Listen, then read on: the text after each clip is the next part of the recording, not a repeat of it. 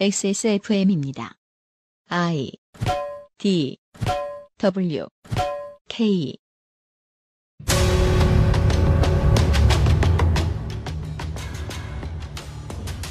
한국 관광 산업에 대세 관광지가 존재한다는 사실을 아십니까? 인프라를 한 곳에 몰아야 패키지 관광객이 낯설음 없이 한국말만 들어가며 관광을 즐길 수 있기에 업계는 자연스럽게 선택지를 줄이고 가능성의 비용을 낮춰 관광객을 적은 수의 관광지로 몰아가는 것이죠. 몇 개 기업의 움직임에 따라 흥행이 좌지우지되는 한국의 게임 시장도 비슷합니다. 비슷한 과금 RPG들의 숲에서 갑자기 새로운 대세로 떠오른 플레이어 언론스 배틀그라운드에 대한 이야기를 이번 주 그것은 알기 싫다에서 전해드리고 있었습니다.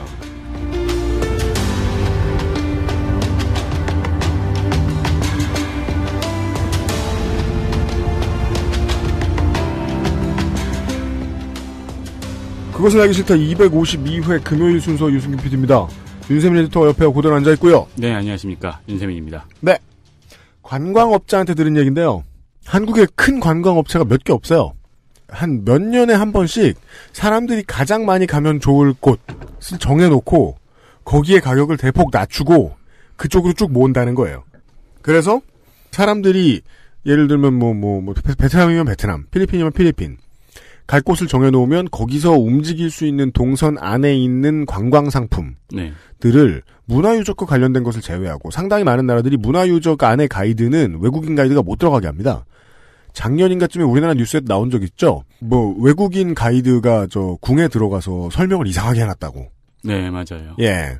음, 그게 우리나라 경복궁에 중국인 가이드가 와서 설명을 이상하게 하는 경우도 있었고요. 교태전은 교태 부리는 곳이다. 뭐 이런 소리 했다고. 뭐그 창호지 이거 보고 뭐 한글 만들었다 그러고. 네. 그 문제 때문에 이제 그 문화 역사 유적들만 제외하고 나면 나머지 볼거리, 즐길거리 관광 상품들은 다 어떻게든 한국인 업자들을 만들어서 거기에서 이제 거의 뭐 사실상 원스톱이죠. 여기저기 돌아다니지만 관광객 입장에서는 네.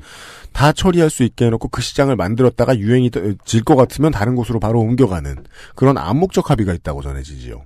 게임이 비슷합니다. 게임 회사는 많은데 네. 돈이 되는 회사는 몇이 없습니다. 네. 산업적인 이유로 설명할 것 같으면 많은 신생 게임 업체들은 카카오 때문에 못 살겠다. 음. 라는 말들을 정말 많이 하고요. 네. 쉽게 말해 칼만 한든 강도다. 라고 이야기를 하면서. 그죠.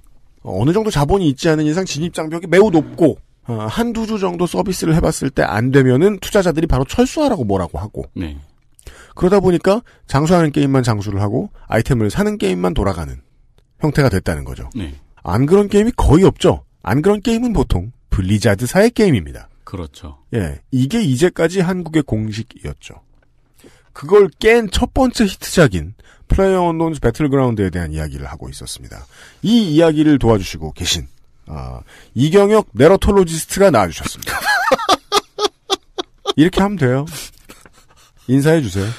안녕하십니까. 예, 로돌로지와 네로, 네로톨로지 사이에서 방황하고 있는 네. 이경혁입니다. 네. 오늘 들을 얘기는 뭡니까? 예, 뭐, 지난 시간에 게임에 대해서 이제 전체적인 얼개를 얘기를 했었고, 오늘은 이제 가장 흥행 게임이잖아요? 음. 이제, 그러면 왜 이렇게 이 게임이 갑자기 등장을 해서 대한민국을 넘어서 전 세계를 휩쓸고 있는가, 그 배경에는 뭐가 있는가를 좀 이런저런 면모에서 좀 얘기를 해보려고 해요. 네. 뭐, 뭐, 여러 가지가 이유가 있겠지만, 뭐, 바로 이제 말씀을 드리면 사실 가장 큰 변화, 그러니까 기존의 게임들, 하나의 재미가 대세가 되기 위해서는 사실 그 앞뒤 맥락이 저는 중요하다고 보거든요. 앞뒤 맥락. 예, 앞뒤 맥락이라고 한다면 예를 들어, 그렇잖아요. 이 이전까지 우리가 되게, 어, 되게 많이 한다라는 게임, 대세 게임은 리그 오브 레전드, 롤이었죠. 네. 롤을 하던 사람들은 왜 롤로부터 배틀그라운드로 넘어갔을까? 아, 저는 롤을 하는 수많은 청년들이 롤을 하는 가장 중요한 이유는 욕을 많이 할 수 있어서라고 생각했는데, 제가 롤 결승을 한번 몇 번 보러 갔었는데 네. 거기 줄선 이제 사람들을 보면서 야 대한민국 욕쟁이가 여기 다 모였구나. 예, 여기다 폭탄을 한번 떨구면 굉장히 깔끔해지겠구나. 아, 저는 이제 그런 거 보고, 아, 사이오니스톰 쓰고 싶다. 예. 왠지 그런 거 있잖아요. 이렇게 한번 싹 쓸어버리고 싶다 막 이런 생각이 들 정도로 굉장히 아 이제 그런 부정적인 지금 이 얘기 와중에서 나오는 것이 사실은 롤이라는 게임이 갖고 있는 부정적인 이미지잖아요. 네. 그렇습니다. 예, 굉장히 욕이 많다. trolling을 한다. 사실 어 롤을 떠나는 사람들 그 롤을 굳이 떠나서 배틀그라운드 사실 새 게임에 들어가게 되면 자기가 갖고 있는 랭킹도 버려야 되고 숙련도 노하우 다 처음부터 세팅을 해야 되는 리스크가 있음에도 불구하고 이 사람들은 롤을 떠났다는 거죠. 컴퓨터 바깥 세상으로 이야기할 것 같으면 이직이죠, 이직. 네. 이직인데 경력직 대우를 못 받고 신입사원으로 들어가는 거예요. 네. 그러면 그 다시 맨 땅에서 시작하는 그 용기는 어디서 나왔는가? 당연히 기존 게임에서 갖고 있었던 어떤 한계들이 있었다는 거죠. 그렇다면 배틀그라운드가 뜨는 이유를 찾을 때 가장 먼저 생각할 것은 그 이전의 대세 게임에서 가져왔던 한계는 무엇인가라는 지점일 겁니다. 아, 저희들은 그 얘기부터 시작을 해 볼 것입니다. 곧 시작하죠. 그것은 알기 싫다는 나의 마지막 시도 퍼펙트 25 전화영어 팟캐스트 하면 생각나는 그 이름 평산네이처 아로니아진에서 도와주고 있습니다. XSFM입니다.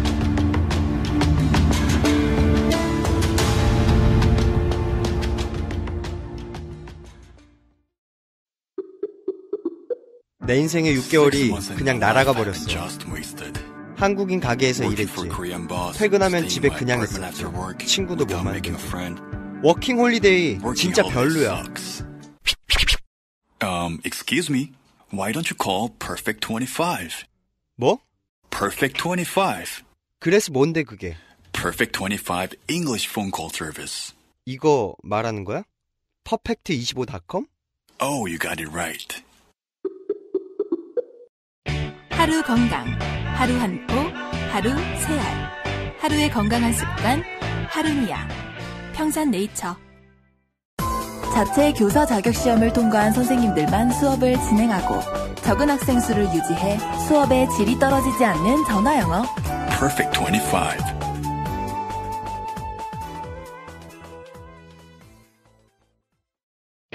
아로니아를 먹기 쉽고 간편하게 하루의 건강한 습관, 하루니아.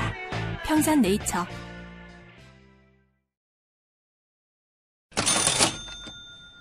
팟캐스트의 역사와 함께한 아로니아진에 대한 얘기를 해주러 김상조 독점거래위원장이 나와 있습니다.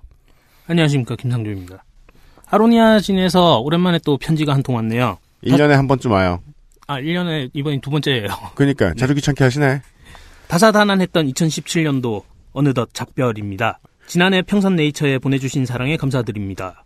희망찬 새해를 맞이하여 항상 건강하시고 행복한 날도 되시기를 기원코저 평산 네이처에서 조그만한 선물을 마련했습니다. 음, 오늘부터 1월 한 달 동안 평산 아로니아 진을 구매하시는 모든 분께 special edition을 추가로 무료 증정해드립니다. 이거 아직도 다 안 나갔나요? 그 얘기죠 지금. 네. 그리고 정확히 말씀하셔야죠. 구슬픈데요? special edition이 아니라 special addiction. 네, special edition. 네. 아, 이거 너무 많이 뽑아내셨구만. 어, 포장 회사는 아주 노란겠는데요. 포장 회사만 그러니까 포장 되게 비싸게 만든 건데 이거. 네. 그래서 그 제조업체가요 포장 비싸게 하려고 그러다 망하는 수가 있어요. 포장 때문에. 네. 아이고 남은 게 좀 있구나. 그래서 올해가 가기 전에 물건을 털어보겠다. 그런 생각인 것 같아요. 네. 많은 분들 구매하시고 지난 4, 5년 동안 어르신에게 드리는 선물로 꾸준히 아로니아진을 하셨다는 분들이 되게 많은데요. 네네. 어, 병째 오면 좋아하실 겁니다. 왜냐면 어르신들은 이렇게 그 긴 목을 가진 병을 보면요. 언제나 빨리 쓰고 참기름을 넣고 싶어 하시거든요. 뭐 술 담으셔도 되고요. 그렇습니다. 네. 예. 새해 복 많이 받으시고 모든 소망이 이루어지는 한 해 되시길 바랍니다. 감사합니다. 이 메시지는 사장님이 보낸 건지, 어, 거기 회사에 제가 아는 그 직원이 보낸 건지는 잘 모르겠네요. 알겠습니다. 김상조 독점거래위원장이었습니다. 감사합니다.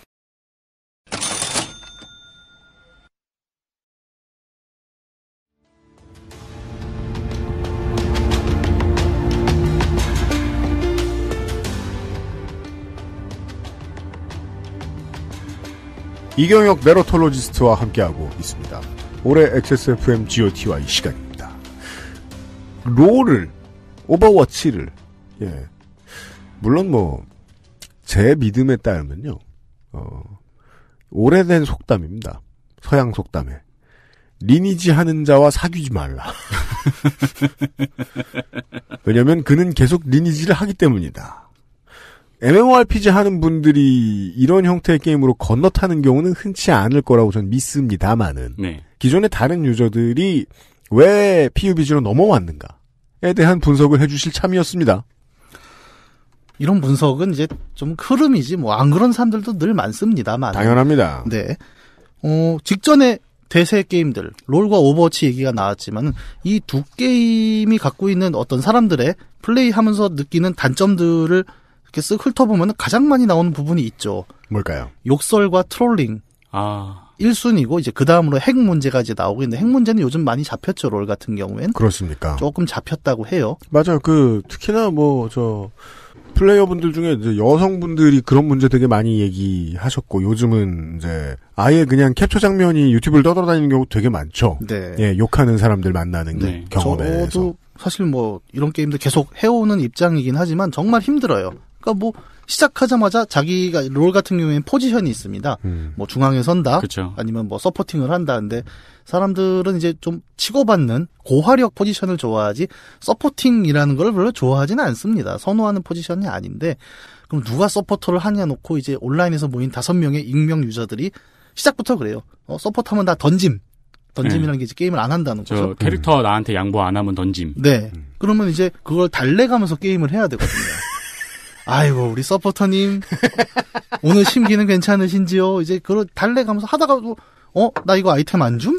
그리고 음. 또, 아이고, 또 우리, 이제, 소위 말하는 롤 같은 경우에는 이제 모시는 포지션들이 있죠. 갑. 네. 그런 것들이 안에 있기 때문에, 아니면 이제, 그 모시는 것도 예- 예전 얘기예요. 요새는, 어, 너 던짐? 나도 던짐. 우리 한번 같이 던져 보세. 이제, 근데 이제 거기서 의리되는 사람들은 소위 말하는 랭킹 승급이 걸린 사람들이죠. 네. 롤 같은 경우에 승급전이 있습니다. 그냥 플레이하는 게 아니라 랭킹전을 할 때 이제 한 단계 뭐 골드에서 플래티넘으로 올라간다 이런 네. 단계는 뭐 3판 2선승의 승급전을 통과해야 되는데 그게 음. 걸린 사람들은 이제 소위 말하는 똥줄이 타는 거죠. 아, 네. 그리고 어 누가 던지면 아유 잠깐만요 제가 승급전입니다. 뭐 필요하신. 있으면 예, 제가 support를 하겠습니다. 음. 이 blue buff는 제가 드리겠습니다. 음. 음. 이런 이제 심기를 맞춰가면서 하는데 그걸 또 아는 사람들은 음. 승급전 걸린 사람 support 전문으로. 네, 쭉 보다가 이제 멤버가 matching이 됐잖아요. 그럼 전적을 다 뒤져보고, 어, 너 승급전이네? 음. 똑바로 해라. 음. 이제 이런 굴- 과장이 나올 정도로 롤은 굉장히 그 승리 점수라는 것에 굉장히 민감한 게임이죠. 형이 오늘 아이템 A, B, D, E가 모자란다. 네, 이제 그런 분위기가 계속 나오는 거예요. 근데 최선을 다하고 싶은데 그게 없네. 네. 이제 그러다 보니까 어떤 현상이 나오냐면은 네. 그 점수라는 것이 개인 점수입니다. 맞아요. 네. 개인에게 나는 몇 점이고 현재 어느 랭크다 골드다 실버다 그리고 그걸로 뭐 그런 표현도 하죠 야 골드 밑에는 얘기하지 마 요즘은 골드도 아니고 뭐 다이아 밑에 얘기하지 마 음. 이런 분위기가 게시판 전반에 이제 퍼져 있는데 아. 재밌게도 이 게임은 모순적이에요 그래서 왜냐하면 롤은 반드시 5대 5로 플레이를 해야 되거든요 맞아요. 예 근데 5대 5로 플레이하면 승패는 두 개밖에 없습니다 그러니까 승리자 5명과 패배자 5명이죠 네. 근데 점수를 그 팀으로 매길 수가 없잖아요. 네. 매칭을 다 랜덤으로 붙여주기 때문에 음. 다섯 명이 한 팀이 돼서 플레이를 하면 이런 경우도 있죠. 내가 잘해서 이기는 경우도 있지만 음. 사실은 내가 되게 못했는데 이긴 우리- 경우가 있어요. 우리 팀이 너무 잘해서 소위 묻어간다 하죠. 그렇죠. 버스를 버스 탄다. 탄다고 하죠. 네. 예, 근데 그런 상황도 개인 점수에 반영이 될 수밖에 없어요. 왜냐하면 팀 점수가 없기 때문에 음. 이거는 다 오케이를 합니다. 왜냐하면 보통 자기가 못한 건 까먹어요. 그럼요. 예. 가장 이제 문제가 되는 건 자기가 정말 잘했어요. 음. 나 혼자서 막 3대1로 뚫어내고 막 소위 말하는 캐리한다고 합니다, 이런 걸. 네. 게임을 거의 캐리를 했는데 음. 아군 한두 명이 게임용으로 똥을 쌉니다. 네, 저기 그 그건 게임 용어라기보단 그 회사 용어. 나머지 팀원 한 명이 네. 변을 봤다. 네, 시- 네. 그냥 변도 아니고 막 설사를 이제 다른 라인에 막 흘리기 시작을 하는데 그러니까 줄줄 이제 그게 그게 열받는 거죠. 네가 못하는 건 괜찮은데 가서 죽어주지 좀 말라고. 가서 한 번 죽으면 알잖아요. 아, 제가 나보다 세다. 그러면 네. 사려라. 근데 그게 아니라 그렇죠. 한번 죽었으니까 가서 또 덤벼요. 장렬하게. 네. 그거를 세 번, 네 번, 다섯 번을 보면 화가 납니다. 이제 점점 말이 거칠어지죠. 그리고 아까도 말씀드렸다시피, 아니, 팀의 활약으로 승패가 결정되는데 점수는 내 점수인 거예요. 음. 그러니까 제가 똥을 싸면 내 점수에 묻습니다. 네, 그렇죠. 이거는 굉장히 화가 나는 상황이에요. 상황 자체가 그래요, 저는. 그러니까 사람이 아. 나쁜 게 아니라, 여기서 말씀하시는 특성은 롤은 사회생활을 강요한다. 네, 그렇죠. 그래서 실제로 롤 안에서 계속 대화창에서 네가 잘했냐, 내가 잘했냐 따지는 거를 정치질이라고 표현을 해요. 네. 게임을 안 하고 쟤는 정치질만 한다. 음. 예를 들어 우리 편의 패색이 짙어질 때 사람들은 플레이를 열심히 해서 역전하려는 것이 아니라 음. 정글 때문에 졌네. 음. 너 때문에 졌어. 이거를 계속 몰아가는 저는 그 비율이 굉장히 궁금했어요. 네. 왜 제일 그 남 탓을 하는 애들은 항상 탑에 있을까? 그래서 탑신병자 네. 뭐 이런 표현을 하죠. 그래서 왜 탑에 있을까 다? 네. 어, 그런 거죠. 그러니까 자신의 어떤 실력을 굉장히 믿는 사람들은 맞아요. 어, 내가 이 게임을 아까 캐리한다는 용어 쓴 내가 내 실력으로 게임을 캐리할 수 있다. 근데 솔직히 말하면 5대5 게임은 절대 그게 나오기가 쉽지가 않습니다. 그렇죠. 음. 페이커 정도 되면 인정할게요. 네. 근데 그렇지 않는데 계속 페이커가 일반 방에 들어갔을 경우. 네, 네. 아, 충분히 10대 1도 하겠죠. 근데 그게 아니다 보니까 계속 스트레스를 받는 거예요. 점수는 내 개인 점수인데 음. 이 말도 안 되는 어디서 온라인에서 굴러먹던 애들이 네 명이 팀이 붙었는데 음. 항상 나에게 기억나는 거고요. 나는 늘 잘하는데 너네 때문에 져. 근데 이걸 혼자 얘기하는 게 아니라 다섯 명이 다 같이 얘기를 합니다. 사회적 인간으로서의 나의 성격과 유- 되게 유관하네요. 우리가 그동안 했던 거의 모든 팀제의 온라인 팀제의 게임에서 늘 겪던 일이잖아요. 네, 그렇죠. 근데 옛날에 예의 바르던 21세기 초반 이런 때만 해도 내 입으로 저기 안 돼. 그때는 저 저 뭐냐 저 음성 채팅 안 했으니까 내 입으로 아우 진짜 못하네 이러고 끕니다. 네. 성격 안 좋은 사람은 가족 욕하고 네. 그 다음에 컴퓨터 꺼버리고 뭐 그 정도 해요. 근데 롤 같은 요즘 게임에서는 아주 심각해진다. 네. 그걸로 토론이 이뤄지고 그래서 사실 게임 밖에 분들이 이제 그런 얘기 많이 하잖아요. 게이머들 참 욕설 심하게 한다. 그게 어 요즘 청소년들이 욕을 많이 해서라기보다는 네가 해보면 더 할 것이다. 네, 그렇죠. 어른들이 더할 거예요. 제가 음. 보기엔 이 5대 5라는 구조 자체가 네. 사실은 예, 사람을 격하게 만드는 구조가 좀 있죠. 솔직히 말하면. 왜냐하면 다섯 명이 친구들이에요. 예를 들어 음. 다 알아요. 그러면은 욕을 해도 친구끼리는 그냥 욕이려니 합니다. 아니에요. 저, 저, 손아람 대문장가하고 유면상 PD는 맨날 의상했어요. 아 저도 이제 그런 적은 있는데. 네가 잘못했네, 내가 잘못했네 이러면서 막 분위기 끊기고 나는 가운데에서 라면 먹을래 이런 소리 하는 그런 역할이었어요. 저는. 근데 소위 말하는 이제 납득의 한계라는 게 있죠 우리가. 내가 너 친구고 네. 부모님도 아프시고 봐주려고 그랬는데 언제나 한계라는 건 좀 존재를 하는 것 같습니다. 네. 어쨌든 그런데 이제 친구끼리도 사실 그게 쉽지가 않은데 그렇죠. 온라인에서 정말 얼굴도 이름도 모르는 사람과 팀을 짠다. 음. 그것도 승리라는 하나의 목표를 위해서 유기적으로 움직여야 하는 팀을 짜는 것이 과연 가능한가라는 의문을 던질 수가 있다는 거죠. 롤은 진짜로 유기적이어야 하잖아요. 그렇죠. 네. 초 단위로 맞춰야 됩니다. 어떤 손발을. 그리고 이제 내가 판단하는 전략이 있잖아요. 네. 내가 판단한 전략과 제가 판단한 전략을 전략이 맞아야 돼요. 네. 근데 그걸 또 그게 맞춰지면 그게 게임인가요? 음. 뭐 회사나 어떤 조직 단체에서 수십 년간 손발을 맞춰온 사람들도 음. 안 맞아서 쩔쩔매는 판에 그렇죠. 온라인에서 기계가 뜨르륵 돌려서 짠 너네 다섯 명이 팀이야 음. 라고 하는 순간에 나올 수 있는 케미스트리라는 것이 과연 얼마나 가능할까 그것이 현재의 그 랜덤 팀 매칭 게임의 한계점이라고 저는 생각을 하거든요 네. 온라인에서 로봇도 똑같습니다 여섯 명이란 차이만 있죠 음. 욕쟁이 하나 더 늘었죠 여기 그렇죠. 그러면 다섯 명의 욕쟁이, 여섯 명의 욕쟁이를 데리고 서로 맞지도 않는 손발을 가지면서 내가 이겨줄게. 논리는 딱 그거예요. 내가 정말 잘해. 예. 근데 이 팀 matching의 기본은 점수입니다. 음. 똑같은 실력들을 맞춰요, 기본적으로. 거기서 누가 carry한다는 게 사실은 운이죠. 상대가 못해서 carry하는 겁니다, 그거는. 내가 잘해서 절대 아니거든요. 모 중학생에게 그런 전언을 들은 적이 있어요. 네. 오버워치를 정말 오래 했는데 끝날 때 수고하셨습니다라고 말하는 사람은 본 적이 없다. 기이한 현상이죠, 보게 되면. 수고들 했는데. 네. 보통 이긴 쪽이 진 쪽한테 시읒 기억을 네. 치죠. 정확하네요. 네. 그래서 이런 게임의 구조 자체가 갖고 있는 어떤 한계. 왜냐하면 게임을 우리가 즐거우려고 하잖아요. 아, 재밌어. 그냥, 음, 나는 재밌게 시간을 보내고 싶고. 근데 거길 들어갔다 다 의가 상해서 나오는 거예요. 내가 모르는 사람들과 아니 좀 더 저 뭐 저 저 리얼하게 얘기해 보죠. 내가 처음 보는 한국 사람들과 뭉쳐서 무언가를 같이 문제 없이 해낸다? 상상하고 싶다. 예. 스트레스. 즐겁자고 하는 게임이 어떤 그런 구조적인 스트레스를 유발한다는 점이 점점 고조가 되고 있었죠. 계속 음. 얘기가 나왔죠. 아, 진짜 못해 먹겠다. 음. 부모님 안부를 묻는다고 하죠, 요즘은. 욕을 이렇게 하죠. 니네 엄마 만수무강해라, 뭐. 이런 식으로 이제 많이 좋아진 거예요. 그게? 계속 그렇게 욕이 나오는 게임을 하다 이제 떨어져 나가는 사람들이 나오기 시작을 하죠. 그렇죠. 저 같은 경우는 이제 중국에서 롤을 똑같이 따라한 펜타스톰을 네. 휴대폰으로 꽤 몇 개월 동안 했었거든요. 네. 제가 결과적으로 그 게임을 지은 이유도 그거였어요. 그러니까 주말에 아 오늘 게임만 해야지 맘먹고 한 다음에 3시간 정도 게임을 하잖아요. 음. 그럼 저는 폭발 직전이 돼 있어요. 분노가 쌓이고 쌓이고 쌓여서. 맞아요. 한판 이겨서 기쁜 거는 5분 가고 다음 판에서 또 열받아요. 네네네. 근데 이제 이런 게임들은 보통 승률을 5대5로 맞춥니다. 그래서 비슷비슷한 사람들을 붙여서 계속 승률이 50%에 근접하게 만들려고 하는데 음. 지금 말씀하신 대로 승리의 기쁨이 찰나가 되고 음. 패배의 쓰라림 그리고 욕 먹은 게 계속 욕 먹은 건 잘다가 누워도 남아요. 네. 그렇죠. 예, 부들부들 손이 떨립니다. 강원랜드 같네요. 좋은 건 잠깐. 네. 네. 그러다 보니까 이제 떨어져 나가는 사람들이 생기기 시작을 하고 게- 게임사들도 그런 부분들 역설과 트롤링을 좀 제재할 수 있는 방안들을 수차례 시도를 합니다만 많이 실패를 했죠. 네. 배틀그라운드가 어떻게 보면 그 해법을 되게 구조적으로 나는 제시했다고 생각을 하거든요. 왜냐 음. 이 게임으로 넘어오게 되면 battle royale이라는 방식은 기본적으로 대화가 마- 필요 없어요. 네 만인의 만인에 대한 투쟁이에요. 100대 1입니다. 그냥.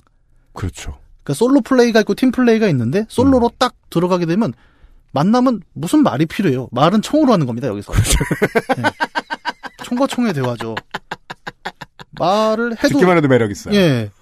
또 하나 붙는 게 뭐냐면 운이 굉장히 높게 작용을 해요. 음. 그러니까 혼자 팀플레이 아까 얘기했던 전의 게임들이 강제된 팀 구조 하에서 굉장히 그 큰 스트레스를 유발을 했다면 배틀그라운드는 그 부분을 어떻게 풀어내냐면 팀을 강제할 필요가 없다라고 되게 단순하게 답변을 해버리는 거죠. 네. 그래서 배틀그라운드 팀은 솔로 플레이, 2인 플레이, 4인 플레이를 제공을 합니다. 네. 네. 근데 어, 어떤 차이가 있냐면은 이 팀을 랜덤으로도 맞출 수 있는데 음. 되게 구조를 유동적으로 해놨어요. 예. 옛날 게임을 한번 생각을 해볼게요. 스타크래프트는 이제 뭐 안 하는 분들도 다 이제 그 돌아가는 방식을 아시겠지만 네. 스타리그 보면은 1대1이 주력이었습니다. 맞습니다. 예, 프로 선수들도 주로 1대1 대결이 메인이었고 네. 2대2 정도가 이제 가, 그, 가끔 있었죠. 네, 프로리그로 따라붙는 형태였죠. 음. 온라인에서 대결할 때는 어땠을까요?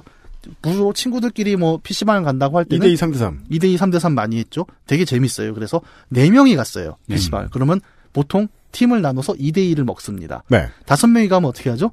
한 명을 깍두기로 붙이죠. 그렇죠. 야, 네가 제일 못하잖아. 아니면 네가 잘하는 애 둘을 먹고 음. 어떻게든 우리 내부에서 소위 말하는 유돌이라고 하죠. 2대2 붙이고 한 사람 옵잡아보고. 네, 와, 옵적을 받네. 우리는 깍두기를 붙였어요. 네. 그러니까 어쨌든 굉장히 유동적이었어요. 네. 근데 롤을 음. 네 명이 가서 하면 어떨까요?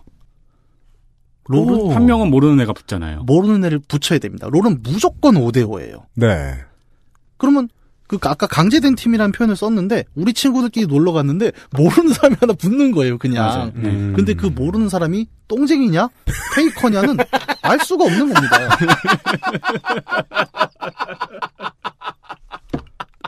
그러니까 제가 펜타스톰을 할 때, 인생 강의야. 할 때, 제 친구랑 같이 했었거든요. 네. 그러니까 저랑 친구 둘, 나머지 셋은 모르는 사람이잖아요. 근데 이제 그 친구랑 이제 해가지고 했는데, 그렇게 욕을 하는 친구인지 그날 처음 알았어요. 이게 되게 그래서 좀 그런 말도 했던 것 같아요. 운전이랑 비슷해서 그러니까 목사님 차에 처음 탄 신도의 충격. 처음 처음 배울 때 욕 못해 안 하고 배워야 돼. 안 그럼 평생 남어. 그래서 스타 시절에 그렇게 편리하게 음, 그냥 유도리 있게 친구들과 팀을 짤 수 있었던 게임에서 이거는 야 니네 친구가 몇 명이든 이제 롤과 오버워치 시대에는 반드시 숫자를 맞추라는 굉장히 강한 규칙 하에 놓이게 되는 거죠. 음. 그러다 보니까 점점 욕이 심해졌던 거고요. 음. 그래서 그 문제를 어떻게 해결할까 계속 게임 안에서 해결하려던 롤과 오버워치의 많은 시도들은 쉽지 않았었고 네. 배틀그라운드가 흥행할 수 있었던 첫 번째 이유는 그래서 저는 그 강제되지 않은 팀 방식이 가장 컸을 것이다. 네. 아니 몇 명이 오든 배틀그라운드는 알아서 플레이가 가능하거든요. 음. 예를 들어 아까 1인, 2인, 4인이라고 했지만 예. 반드시 3인은 어떻게 할까요? 3인은 그냥 4인 스쿼드에 들어갑니다. 네. 한 명이 모자라니까 아무래도 힘들겠죠. 하지만 반드시 4명을 맞출 필요는 없게 만든 이유는 맞아요. 이 게임은 애초에 승리 조건 자체가 50%가 아니거든요. 그렇죠. 롤과 스타, 오버워치는 전부 승리와 패배가 절반으로 잡혀 있습니다. 네. 근데 이 게임은 단순 계산만 해도 예를 들어 솔로 플레이 네. 100명이 뛰었을 때 승리 요건은 딱 하나예요. 1%. 1%. 듀오는 2%. 네. 승리 확률이 굉장히 낮아요. 음. 애초부터 승리에 대한 기대를 접게 돼 있습니다. 그러니까 이게 되게 음. 신기한 게 제가 이걸 하면서 어 이거는 스트레스를 진짜 안 받네라는 생각을 하면서 무슨 생각을 했냐면은 제가 지금까지 살면서 가장 평화롭게 했던 게임이 팡야였거든요. 네. 골프 게임. 음. 근데 확실히 승패가 정해지는 게임보다 음. 순위가 정해지는 게임이 스트레스가 좀 덜해요. 그래요. 네. 음. 왜냐면은 패했다는 약오름이 없거든요. 근데 순위만 정하는 게임은 스릴도 줄잖아요. 그거는 게임에 따라 좀 다를 것 같아요. 그런가요? 네. 근데 배틀그라운드는 승리자가 있긴 있잖아요, 또. 그렇죠. 그리고 예. 승리의 쾌감이 굉장합니다. 아까 네. 아드레날린 폭발이라는 표현을 썼는데 네. 그 차이는 어디서 오냐면 이제 운이라는 요소가 추가가 된다는 거죠. 음. 그뭐 게임 쪽 연구하시는 분들이나 게임 매니아 분들은 이제 많이 접한 개념이 있습니다. 로제 카이와라는 학자가 있고요. 음. 로제 카유와 1913년에서 1978년 프랑스의 사회학자, 철학가, 비평가 요한 하위진가가 정의한 호모 루덴스 유희의 인간 개념에 대한 분석을 토대로 유희의 여섯 가지 특성과 누리의 네 가지 대분류를 규정한 소위 누리 이론 으로 유명합니다. 이 양반이 게임의 4대 조건을 이야기를 하면서 앞부분에 나온 두 개가 아곤이라는 개념과 알레아라는 개념이 있어요. 자, 이제 학술 용어로 접어듭니다. 아, 셔럽하겠습니다. 그 이제 운과 음. 실력이라는 두 개의 요소를 함께 언급을 해주거든요. 아곤과 알레아. 네. 근데 어, 모든 게임이 사실은 컴퓨터 게임 이전에도 음. 이 운과 실력이란 요소는 항상 서로 힘을 겨루었어요. 게임이란 장 안에서. 그렇죠. 네. 축구가 만약에 100% 실력으로만 결정되는 게임이었다면 누구도 보지 않았을 겁니다. 참 월드컵을 재밌죠? 네. 축구광, 야구광 이런 사람들 입장에서는 팀을 욕하고 칭찬하고 선수를 좋아하고 비난하고 이럴 때 언제나 운을 빼놓고 얘기해요. 음. 그리고 저 심연 깊은 곳 어딘가에 이 운 문제가 빠져 있다는 걸 알아요. 그걸 맞아요. 언제 동원합니까? 자기가 싫어하는 선수나 싫어하는 팀이 잘할 때 동원해요. 운 빨랐네. 음. 예. 그것 때문에 스포츠를 좋아한 거면서. 음. 사실 그런 부분이 있고 뭐 디지털 게임에서도 운과 이제 실력이란 건 언제나 비등비등한 요소였는데 배틀그라운드가 재밌는 거는 아까 승패 확률이 50%에서 1, 2, 4%로 떨어졌다는 얘기를 하면서 네. 동시에 그 확률에 운을 엄청 부여해 버립니다. 이 게임은 어떻게 시작이 되냐면 처음에 출발할 때 수송기에 100명이 다 타요. 그렇죠. 그리고 뿡 하고 지나가는데 음. 지도 위에 어디를 어떻게 지나갈지도 랜덤이고요. 거기서 내가 뛰어내렸는데 그 자리에 나랑 같이 떨어지는 게 누구냐도 랜덤이고요. 그렇죠. 심지어는 떨어졌는데 내 자리가 안전지대에 가깝냐 안 가깝냐도 100% 랜덤입니다. 저 그래서 네. 죽은 적이 한 번 있어요. 네. 그러니까 섬 제일 끝에 떨어졌는데 네. 안전지대가 반대쪽 끝인 거예요. 음. 내가 전속력으로 뛰어도 죽어요. 그래서 음. 주변에 차를 막 차는데 차가 없는 거예요. 네. 그렇게 죽었어요, 그냥. 이게 무슨 뜻이냐? 아무 아이템도 없이 자연인의 상태로 걷다 갔단 소리입니다. 네. 네. 예, 그냥 이제 뛰다가 죽는 경우를 이제 이봉주 메타라고 하는데 아, 그랬군요. 자주 겪어요, 상당히. 어. 어쨌든 그 100% 자신의 실력만이 아니라는 거죠. 이 게임의 우승은 아 정말 잘하는 분들 실력으로 다 돌파하세요. 네. 왜냐하면 이제 조금 하다 보면 익숙해지죠. 그죠. 어느 자리가 좋을 거다. 네. 이때는 이렇게 움직일 거다. 그것도 분명히 있지만 운이 존재, 운이 크게 존재하는 지점을 돌파하는 방식에 대한 노하우. 네. 네. 그럼에도 불구하고 운이라는 것이 기존의 게임보다 굉장히 강력하게 지배를 하고 있고 그런 점 때문에 반드시 내가 이 게임에서 승리해야겠다라는 의지를 가졌을 때 그거 실패했을 때 받는 스트레스가 확 떨어지는 거예요. 운이 크게 작용하니까. 네. 딴, 아, 내 운이 나빴네. 음. 아, 이 자식이 여기서 나와. 롤은 그게 아니잖아요. 롤과 아, 오버워치는. 아, 그러네요. 집 안에 쟤가 날 쏠지 내가 어떻게 네. 알았겠어. 야, 저 언덕 뒤에 쟤가 있었어. 뭐, 야, 수류탄이 떨어져도 어떻게 여기 떨어지냐? 음. 이런 이야기들이 게임 한 판 끝났을 때 어차피 게임의 승률은 낮았으니까 되게 웃으면서 할 수 있는 얘기가 되는 거예요. 야, 이렇게 죽네. 음. 이걸 내가 죽네. 하 하면서 그렇구나. 끝난다. 네. 어, 저도 그랬거든요. 같이 하는 형이랑, 와, 이번엔 이렇게 죽었네 하면서 막 네. 웃었거든요. 그, 아, 이게, 사람이 배워야 돼. 이런 개념 때문이구나. 예, 그래서 뭐, 롤 졌을 때랑 얘기가 다른 거예요. 그쵸, 롤 졌을 때는 패배하는 순간 게임이 복기가 싹 되거든요. 네. 카운터 스트라이크류, 그니까 뭐, 서든 어택 같은, 네. 이제, 5대5 FPS를 하고 있으면, 아까 그, 우리 첫 시간에, 어제 시간에, 5대5 FPS의 맵에 대해서 설명을 해주셨는데, 그, 우리는 리그 같은 거 많이 보면서 알잖아요. 맵을 구석구석 다 알고 있, 어야 돼요. 네. 맵을 구석구석 다 알고 있다는 얘기는, 운으로 인해 결정될 부분들을 하나하나 제거해 나간다는 뜻이거든요. 그쵸. 그게 우리가 프로게이머들이 게임을 보고 있을 때 알 수 있는 것들이죠. 예, 만약에 실시간 시뮬레이션 게임이라면은 맵에서 만약에 4인용 맵이라면은 내가 대각선에 있느냐 가로에 있느냐도 운이잖아요. 그죠. 정찰을 했는데 어디서부터 나오느냐도 운이고. 그런데 그 운의 문제를 다 계산을 해 놓은 다음에 들어와서 최대한 운이 개입될 확률을 줄여요. 그 그럼 실력으로만 승부하는 가능성이 가장 높은 게임은 저는 한국 사람들이 거의 하지 않는 어, 축구는 하죠. 구기 종목 게임이라고 생각을 하는데 탁구. 다인제 구 다인제 구기 종목, 네. 농구, 축구, 풋볼 이런 것들은 플레이어의 수치까지 하나하나 다 꿰고 있기 때문에 운이 거의 안 걸립니다. 음. 여기서 운이 거의 안 걸린다는 건 무슨 뜻입니까? 40%의 야투를 가진 슈터가 있으면 걔한테 10번 쏘게 하면 4번 들어간다는 걸 알고 한다는 거예요. 네. 어느 정도 수비수가 더 붙으면 얼마 덜 들어갈 것이고 오픈 찬스에서 얼마가 더 들어갈 것이냐 다 알고 하는 게임은 끝내서 지면 화나. 음. 진짜 화나. 그리고 우리 사회생활에서 봤을 때 보면 일이 안 풀렸을 때 승질내는 사람들 있잖아요. 네. 운이 어떻게 적용되는지 잘 모르는 사람들이 좀 많았던 것 같은데. 어디에서 운이 어떻게 안 좋은지. 내 실력으로 다 헤쳐나갈 수 있어라고 생각하는 사람들이 보통 투자를 세게 받아. 하기사 생각해보면 진짜 운의 역할이 없는 것 같은 스타크래프트 같은 경우에도 399 사건도 있었고 어, 이건 운이었습니다라고 게임성이 유저에게 적극적으로 알려준다는 거인 네. 것 같아요. 그러니까 그것이 어떤 그 비장함의 영역을 떠나서 즐거움의 영역이 돼버린 거죠. 이 벌판이라는 자리는 음, 롤에서 벌어진 소환사의 협곡은 정말 피가 튀는 전장이었습니다. 음, 그러니까 손을 풀고 들어가죠 사람들이. 네. 그렇죠. 그냥 예, 친구랑 노는데 손을 풀고 들어가요. 근데 배틀그라운드는 그런 느낌은 아닌 거죠. 그냥 음. 모여서 한 게임 해. 죽었어. 그럼 아유 씨 너 이렇게 죽니? 음. 자 다음 판 또 돌려. 음. 이렇게 돌아갈 수 있는 말 그대로 유희가 된 거죠. 다시 말해서. 아, 여기에 현금 걸리면 크겠네요. 어 그렇구나. 도박하면 안 되겠다. 네. 몇 가지를 더 지적을 해주셨습니다. 어, 롤이나 오버워치에서 느낄 수 있는 내가 왜 저런 놈과 라는 처음부터 끝까지 지- 유지되는 억울함. 이길 때도 아 저놈이랑 같이 하고 싶지 않다. 뭐, 뭐 쉽게 아 제, 저런 애가 healer인 건 싫어.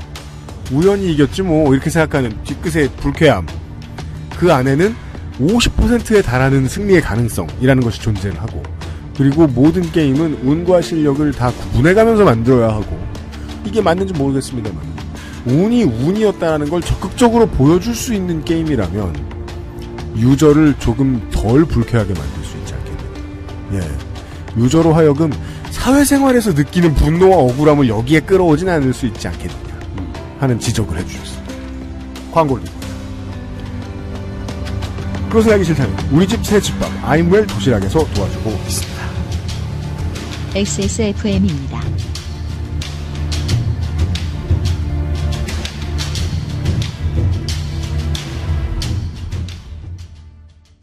그쵸. 아, 아침 식사 매번 거르죠. 어차피 식빵이나 한 조각 베어 먹는 게 단데 속도 불편할 때가 많고 어디 영양이나 있구나 싶으니까 그냥 아침은 포기하는 게 편하죠. 아이멜에서 새로 나온 도시락 어때요? 잡곡밥이라고 나물 하나 대충 넣은 것도 아니고 저칼로리식이라고 고기를 빼먹은 것도 아니고 맛, 칼로리, 나트륨, 단백질 모든 걸 한 방에 잡은 도시락 본 적 있으세요? 전자레인지에 3분 30초면 충분할 텐데 쓰린 빈속에서 영양 가득한 출근길로 아임웰 도시락 어때요? 맛있는 취향 저격. 아임웰 굿밸런스 도시락. 푸짐한 200g 밥도 있어요. 컴스테이션은 조용한 형제들과 함께합니다. 집밥보다 맛있는 영양식 도시락을 원한다면 맛있는 취향 저격 아임웰 굿밸런스 도시락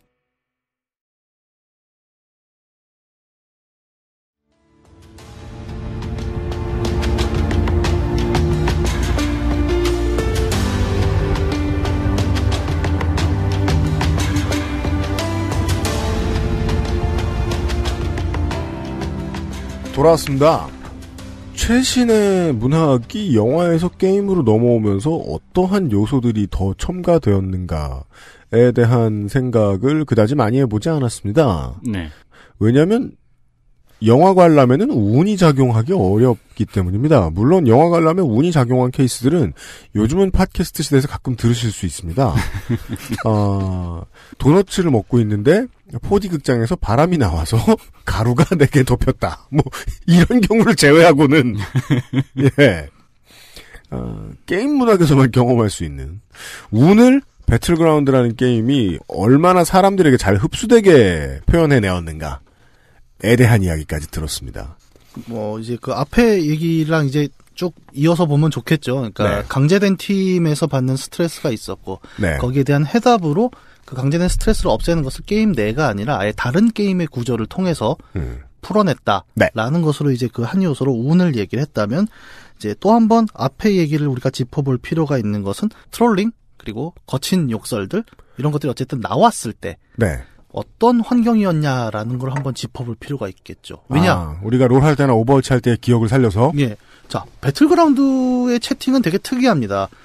텍스트 채팅이 제공되지 않죠. 네. 네. 재밌죠.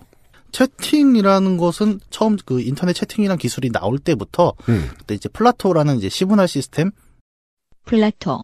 Program Logic for Automatic Teaching Operations. 일리노이 대학에서 1960년부터 시작한 최초의 컴퓨터를 이용한 교육 시스템. 수업을 구현하기 위한 시분할, 다중 접속 등이 중요했기에 빠른 연산과 네트워크 환경 편의성을 발전시켜 나가다가 1969년 최초의 멀티플레이어 게임 스페이스워, 1974년 최초의 그룹 플레이 던전 게임 오블리에트 등의 탄생에 산파 역할을 하게 됩니다. 애초에 그때부터 머드 게임이라고 하죠. 텍스트로 플레이하는 multi 게임과 음. 함께 움직였거든요. 같은 플랫폼이었어요. 예. 그래서 어떤 사람들은 이제 채팅과 온라인 게임이 사실은 뭐 같은 뿌리다라고도 얘기를 하는데 아, 지금은 지금 그 자손으로는 커뮤가 있죠. 저희 동네 PC방 간판이 있는데 머드 게임이 써 있는 거예요. 그래 울 뻔했어요. 예전에는 그게 많이 써 있었어요. 그쵸. 그거 뭐 망한 지 20년 됐는데 네. 새 가게 주인이 안 들어온 거 아니야? 그랬는지 어쨌는지. 알고 보면 무슨 진흙 레슬링 하는 변태업소 아니야? 머드 게임이라고 써 있다고 PC방에? 네, 그래서 사진까지 찍어 놨어요. 2017년에? 아이고. 어쨌든 그렇게 오랫동안 그 온라인 게임에서 채팅이란 건 뗄래야 뗄 수가 없는 요소였죠. 텍스트 네. 채팅이었고. 왜냐하면 뭐 같이 모여서 하는데 사실은 대화가 안 되면 그거는 같이 하는 게임이 아니지 않습니까? 그렇죠. 물론 이제 기본적인 상호작용들은 뭐 공격 방어 아니면 지도에다 위치를 찍는다거나 음. 그러니까 굳이 텍스트가 아니어도 되긴 했지만 뭐 그런 게 있습니다. 예를 들어 MMORPG라고 하죠. 대규모 온라인 게임들을 플레이하는 사람들은 어떤 경우에는 뭐 dungeon을 탐험하거나 공격을 하는 게 아니라 모여서 떠들고만 있기도 해요. 그렇죠. 마을, 마을에 모여서. 예. 와우 같은데 뭐 오그리만 은행 앞에서 그냥 점프만 뛰는 사람들이 계속 있죠. 네. 어, 심지어는 그 통계도 있어요. 와우에서 점프를 빠지면 계속 할 거냐 그러면 아니다라는. 그러니까 여기서 점프라는 건할거 네. 없을 때 누르고 있는 그냥 것이잖아요. space만 계속 누르면서 네. 쟤는 뭐 입었나 보고 어 뭐 아들 어떻게 됐어요? 뭐 이런 거나 떠들고 그 왜 저 카운터 스트라이크 할 때도 정말 고수인 걸 뻔히 알고 있는 팀과 만났다. 네.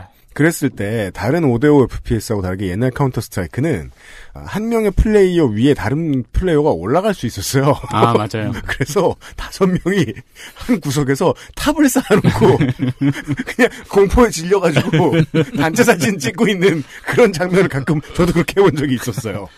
그렇게 채팅이라는 것이 또 이제 만들어내는 문화가 있었고 네. 어쨌든 오랫동안 온라인 게임과 텍스트 채팅은 이제 함께 자라왔습니다. 근데 그렇죠. 음성 언어와 문자 언어는 굉장히 다릅니다. 그게 이제 제가 그 했을 때 어떻게 하- 혼자 이렇게 이것저것 만져보다가 음. 그때는 몰랐는데 지금 생각해 보니까 듀오로 제가 선택을 해가지고 랜덤으로 팀이 배정이 됐나 봐요. 네. 그래서 게임이 딱 시작을 했어요. 지도가 딱 열렸는데 갑자기 헤드폰을 쓰고 있었는데 아, 안녕하세요 이러는 거예요. 아, 예. 그래서 껐어요 무서워서. 이게 뭐지 싶어서. 어, 그 무서워서 껐다는 게 제가 지금 딱 얘기하려는 포인트예요. 왜냐? 음성 채팅의 시대. 예. 음성 채팅. 배틀그라운드는 가장 최신 게임인데 텍스트 채팅을 아예 배제했습니다. 네. 그리고 사람들은 거기에 적응을 해서 그게 대세 게임이 됐죠. 왜일까요? 라는 질문을 던질 필요가 있고요. 네. 우리는 여기서 돌이켜볼 예전의 상황이 하나 있습니다. 오락실의 soundscape라는 장면이죠. 오락실의 soundscape. 오락실은 single play도 있고 multi play도 있었지만 여러 명이 모여서 함께 떠드는 공간이었어요. 게임 문학은 오감으로 받아들이는 거니까. 네. 우리 아까 쉬는 시간에 다른 감각도 있다는 얘기를 하고 들어왔는데 오락실의 제 기억은 눈에 보는 것은 절반에 지나지 않았어요. 일단은 보통 이제 돈이 너무 많이 되고 그 꼬마 애들만 들어오니까 저 다른 데 곳들하고 다르게 인테리어를 잘 안 해요. 그 칠도 안 해놔요. 네. 그래서 콘크리트 냄새가 나요. 네. 다들 체온이 올랐기 때문에 온도가 느껴지고 아이들의 땀 냄새가 느껴집니다. 그건 이제 기계가 많아서. 그리고 게임의 소리가 있죠. 네. 소리는 아케이드에 혹은 내가 게임하는 곳 앞에 가장 중요한 배경이에요. 우리의 오락실 추억은 그래서 시각으로만 구성되진 않아요. 말씀하신 대로 저는 처음으로 갔던 오락실에서 그 켈믹이라고 하나요? 그 방향제 회사 있죠. 음. 보글보글을 처음 잡고 그 냄새를 맡아서 저는 지금도 그 냄새를 맡으면 보글보글 음악이 떠오릅니다. 아. 네, 통합적으로 기억을 하는 거예요, 우리는 음. 다. 제가 맨날 한 얘기 있는데 아직도 그 교통방송을 틀면 아버지 차에 있으시던 카 왁스 냄새가 나요. 어. 그러면서 구역질이 올라와요. 저는 아직도 그 다른 감각이 정의가 돼가지고 아직도 킹오파를 하면 누가 뒤에서 저를 때릴 것 같아요. 중학생 형들이 와서 네. 그래요. 현피를 네, 당하셨군요. 이겼, 이겼 다고 때리잖아요. 아, 아 그래서 네. 저도 고등학교 친구는 별명이 지금도 까인인데 그 오락실에서 까였다고. 네, 열몇 판을 연속으로 이겨서. 아 어릴 때부터 대전 게임 하던 친구들은 맞은 기억들이 있겠어요. 그렇죠. 맞은 승리의 기억. 대가로 네, 뜯긴 기억. 그다음에 네. 앞에 사람이 컴 끄고 나간 기억. 그런 기억은 많죠. 네, 굉장히 이제 그런 이제 통합적인 감각의 장면이었고 네. 그때를 생각해 보면 하나의 게임을 플레이할 때 예를 들어 끝판왕까지 가고 있어요. 그러면 음. 어느 순간 동네 친구들이 다 모여서 한 마디씩 거두면서 그거를 같이 봅니다. 맞아요. 예, 뭐 저는 그게 e스포츠의 원형이라고 생각을 하는데. 어 그럼요. 예. 네. 근데 그때 오락실의 감각이란 것은 그래서 어, 시각적인 게 아니죠. 네. 근데 텍스트 채팅으로 연결된 뭐 멀티플레이 환경은 그 우리가 처음으로 겪었던 오락의 팀 플레이라는 개념에서 다른 모든 감각들을 제거했거든요. 음. 단지 텍스트로만 이야기를 하게 되잖아요. 네. 그래서 어, 비언어적으로 우리가 그팀 케미스트란 건 항상 그렇지 않습니까? 우리가 괜히 합숙을 하는 게 아니죠. 그냥 사실 같은 작업을 하면 문서 하나 넘겨주면 끝인데 그렇게 안 하죠. 음. 합숙이란 걸 하고 워크샵이란 걸 하고 음. 뭔가 계속 촉각적이고 그 비시각적인 것들을 통해서 팀 케미스트리를 만들려고 굉장히 노력들을 합니다. 시각적인 것 이상, 그러니까 문자 언어 이상의 어떤 것들이 팀을 만드는 되게 중요한 요소였거든요. 맞습니다. 그런데 온라인 게임 멀티플레이라는 환경은 되게 재밌게도 텍스트 언어만으로 팀 플레이가 가능하다는 가상의 공간이 돼버린 거예요. 네. 근데 그것이 진짜 팀 플레이냐라는 의미를 이제 우리는 생각을 해볼 필요가 있는 거죠. 여기서 또 재밌는 학자가 하나 있어요. 마샬 맥루안이라는 학자가 있습니다. 마샬 맥루안이 뭐가 재밌어요? 아니 근데 이 사람 얘기 되게 재밌어요. 이 네. 사람이 1960년대의 그 미디어 학자인데 그렇죠. 1960년대라고 하면 뭐 지금처럼 인터넷이 있던 시대도 아니고 그래서 음. 이 사람은 뭐라고 표현하면 전기 미디어라는 표현을 써요. 심지어. 네. 그러니까 뭐가 나올지 몰랐기 때문에. 음. 근데 어, 이 사람의 얘기 중에 그 미디어의 이해라는 책에 보면은 네, 가장 읽기 싫어하던 제가 세상에서 가장 읽기 싫어하는 책이죠. 어, 그 마샬 맥루안의 미디어에 의해 네, 신방과 쪽 수업을 들으셨군요. 그 문학 수업 저 뭐냐 저, 저 아. 문화학 수업 들을 때. 아. 네. 국문과에서도 배워요. 아, 네. 그렇죠. 네, 근데, 국문과와 신방과를 복수 전공하면 두 번 배워요. 근데 저도 학부 있을 때는 안 읽었는데 음. 이제 나이 들어서 읽으니까 이 사람이 거의 예언자급의 이야기를 많이 했더라고요. 네. 근데 그 중에 제가 이걸 들고 온 이유는 음성 언어와 문자 언어의 차이를 좀 짚는 부분들이 있습니다. 음. 그래서 음성 언어라는 것은 이제 약간 부족적인 개념이죠. 그러니까 어떤 문명 사회라기보다는 되게 청각적이고 그러니까 네. 하나의 메시지를 전달할 때 단순히 문자가 아니라 청각이란 걸 그렇잖아요. 뭔가 말을 할 때는 우리가 저도 지금 이렇게 제스처를 하고 있지만 네. 굉장히 그 비시각, 청각, 미각, 후각 여러 가지 감각들이 복합적으로 총체적으로 연결돼서 이제 메시지가 전달되는 반면에 음. 문자 언어라는 것은 표준화돼 있고 계량화돼 있고 맞아요. 그래서 복사도 쉽고 전달도 쉽죠. 네. 그래서 굉장히 확장성이 좋아서 많은 문명들이 문자 언어 기반으로 이제 확장을 펼쳐 나간다. 대신에 문자 언어 기반으로 퍼져 나가는 문명에는 그런 어떤 부족적이고 총체적인 감각들이 사라지는 부분도 존재한다는 얘기를 그 미디어에 의해서 문자 언어, 음성 언어라는 개념을 갖고 한번 한 적이 있습니다. 네. 그 모순을 보여주고 있, 보여주는 사례가 뭐냐면은 카카오톡 같은 걸로 친구한테 돈 꺼달라 그러면은 이건 텍스트인데 응? 이라고 물어보잖아요. 예전보다 사람들이 standardization으로만 텍스트를 받아들이지 않기 때문이죠. 어떤 텍스트만 봐도 이거 이놈이 한 말 같아 라고 느끼는 경우가 좀 있기 때문인데 그런 확률이 좀 옅다는 거죠. 문자는. 만약에 그 맥루안은 뭐 이제 온라인 게임을 보지는 못하셨겠지만 음. 이제 그분의 그런 얘기를 지금의 상황에서 좀 돌이켜 보면 되게 예언적이다라는 생각이 드는 거죠. 음. 우리는 가상의 공간 게임이라는 환경에서 팀 플레이를 문자적으로만 하는 텍스트 채팅의 시대를 경험을 했습니다. 음. 전달이 안 되죠. 왼쪽 왼쪽 이라고 백날 텍스트를 쳐봐야 HHCC. 네 전달도 잘 안 되고 음. 근데 그래서 그런 환경인데 심지어는 이 텍스트 채팅 기반의 멀티플레이라는 것은 음. 랜덤 매칭이잖아요. 게다가 그렇죠. 모르는 사람과 해야 돼요. 네, 누군지도 모르는 사람과 팀이 됐는데 거기서 제대로 전달이 되지 않은 문자 텍스트로 뭔가 활동을 합니다. 그러면 당연히 갑갑하고 아무런 팀 chemistry가 나질 않아요, 사실. 근데 그런 환경에서 우리는 어쨌든 그 5대5, 6대6이라는 구조가 만들어내는 재미에 열광을 했었고 그 한편으로는 외부 효과, 굉장히 많은 스트레스와 팀이 구성되지 않음으로 인해 발생하는 짜증들이 서로가 서로에게 욕을 하는 환경을 우리는 맞닥뜨리게 된 거죠. 네. 그래서 되게 중요한 건 배틀그라운드는 다시 한번 돌아가면 보이스 채팅만을 구현했죠. 텍스트 채팅을 넣지 않고 음. 여기서 재밌는 건 그겁니다. 롤, 리그 오브 레전드는 2014년쯤에 네. 보이스 채팅을 좀 넣었으면 좋겠다는 많은 유저들의 청원을 받은 적이 있어요. 네. 그리고 거기에 대해서 공식 답변을 내놨습니다. 뭐라고요? 공지사항에 쓴 바로는 뭐라면 아 우리는 보이스 채팅이 굉장히 중요하다고 생각해. 음. 왜냐하면 이 게임도 빠른 의사소통이 필요하고 너희는 키보드와 마우스에 계속 손을 올리고 있으니까. 음. 하지만 우리가 이것을 도입하는 것은 되게 많은 우려가 있어요. 라고 얘기를 하면서 무슨 얘기를 하냐면 지인들, 너희의 친구들과 게임 외부의 앱을 사용해서 보이스 채팅하는 건 우리는 적극 권장한다. 음. 다만 우리 게임은 랜덤 매칭을 기반으로 하고 있지 않느냐. 음. 모르는 사람과 보이스 채팅을 열었을 때 문제가 발생할 확률을 우리가 지- 조사를 해봤더니 공격적인 언어, 욕설과 trolling이 126% 증가한다고 명실 숫자를 명시해놨어요. 아, 라이엇 게임즈가 돈을 들여서 테스트를 해본 거군요. 네, 알고 있어요. 예. 그리고 최근에 아마 도입을 한 걸로 알고 있는데 어쨌든 이제 2014년에는 그러한 이제 의사 표명을 했던 기록이 남아 있고요. 같은 현상에 대해서 오버워치는 보이스 채팅을 안에 도입을 했죠. 네. 그래서 터진 것이 갓건배 사건 같은 네. 상황이 나왔죠. 음. 왜냐하면 제가 아까 문자 언어와 음성 언어를 이야기를 했지만 어 예를 들어 똑같은 욕을 했어요. 야, 바보야. 음. 뭐 방송이니까 네. 순화해서 하죠. 이 바보야라는 게 음성으로 들어갈 때와 채팅에서 누가 나한테 바보야 그러면 두근하죠. 네. 이렇게 순한 말을 나한테 써주다니. 나 좋아하나 봐. 문자 언어는 아까도 말했지만 이제 다른 감각들이 빠진 채로 전달이 되기 때문에 음. 아무래도 똑같은 욕이라도 강도가 좀 낮게 느껴져요. 그래서 사람들이 어떻게 움직이냐면 점점 더 강한 욕을 씁니다. 음. 그렇죠. 충격적이고 네. 이 문자로도 너의 멘탈을 날릴 수 있는 그렇죠. 더 강력한 욕들이 개발이 되고 그게 요즘 인터넷에서 소위 말하는 학생들이 얘기하는 부모 욕이라는 형태로 더욱더 강하게 발전을 했죠. 예, 지금 학생들이 개발한 게 아니죠. 아, 사실 제가 학생일 예, 때 개발한 했습니다. 거죠. 죄송합니다. 예, 청취자 여러분 죄송합니다. 제가 네. 했고요. 네.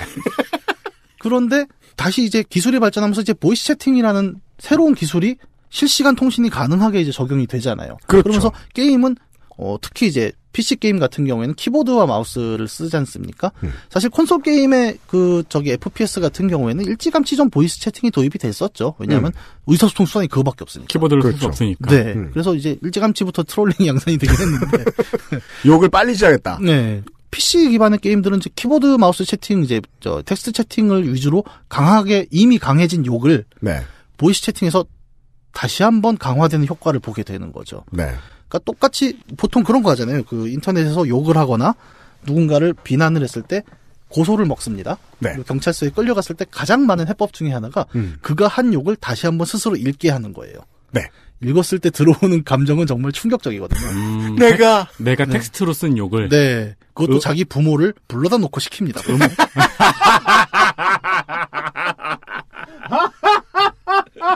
상상하기도 싫죠. 여러분 욕하지 마세요. 야, 경찰 잘하네요. 네, 일 잘합니다. 예. 어, 법보다도 효율적이에요.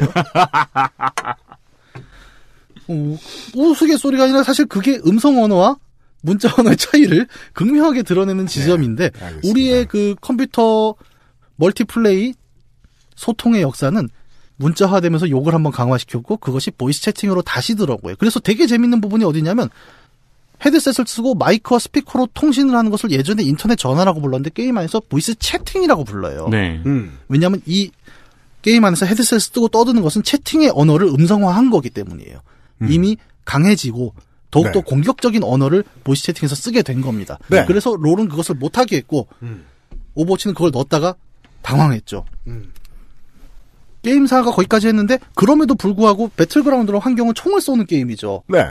그것도 사방에 탁 트인 개활지에서 총을 쏩니다. 아까 잠깐 얘기했지만 사람이 어디 있는지 잘 보이지도 않아요. 내 눈으로 찾아야 돼요. 실제처럼. 그리고 보통의 FPS는 총알을 맞으면 다양한 방법으로 어느 방향에서 총알이 나왔는지 표시해주잖아요. 음. 핏자국의 위치 같은 걸로. 배틀그라운드는 그게 없더라고요. 어, 살짝 있어요. 왜냐하면 엉덩이에 총을 맞으면 보입니다. 아 그래요? 네. 프라이팬을 엉덩이 차고 있으면 튕겨요, 심지어. 그렇죠. 그래야죠. 네. 프라이팬 그러라고 쓰는 건데. 네. 그래서 이제 네. 그런 건 있는데 급박하잖아요. 그러니까 계속 네. 적을 찾아야 되고 주시를 해야 되는 상황에 예를 들어 적을 발견을 했어요. 내가 그러면 설명이 잘 안 돼요. 음. 키보드로 자 이제 저 언덕 너머에 나무 두 그루가 있는데 음. 앞에 있는 작은 나무 왼쪽에 적이 있다라는 사실을 언제 말해? 텍스트 채팅으로는 할 수가 없어요, 사실. 네. 그거 치다가 죽죠, 보통. 네.